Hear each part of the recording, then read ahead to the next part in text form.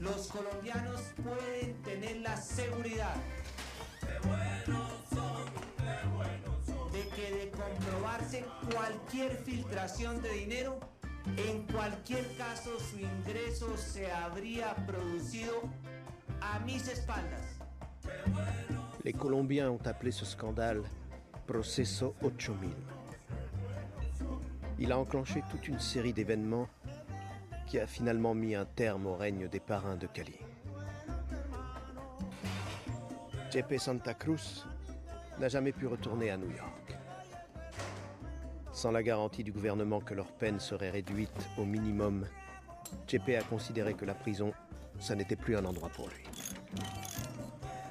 Alors, il s'est libéré et s'est lancé dans la recherche de nouvelles alliances, de partenaires qui pourraient l'aider à rebâtir l'Empire. Vous ne devinerez jamais qui il a choisi. Don Chepe, me dio gusto recibir su llamada. Comme on pouvait s'y attendre, ça n'a pas été le partenariat idéal.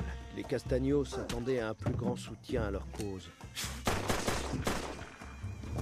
que celui que Chepe pouvait leur offrir.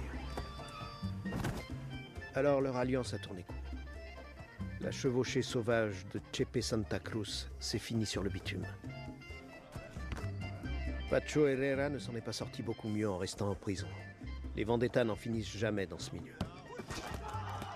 Avec sa guerre contre les Salazar, Pacho s'était fait des ennemis à vie dans le nord de la vallée.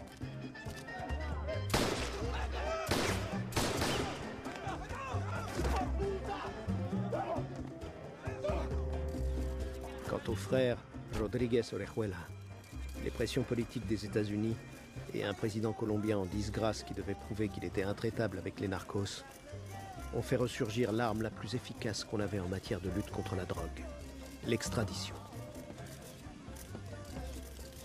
Privés de soutien, probablement pour toujours, ils passeront le reste de leur vie dans les prisons américaines. Les gentils n'ont pas fait beaucoup mieux. En Colombie, Jorge Salcedo se traîne une image de balance.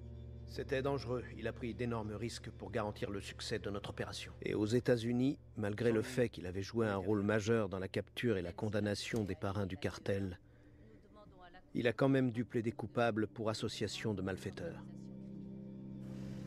Depuis, Jorge Salcedo, le gars le plus impliqué dans l'élimination du cartel de Cali, a disparu via le programme fédéral de protection des témoins, quelque part aux États-Unis.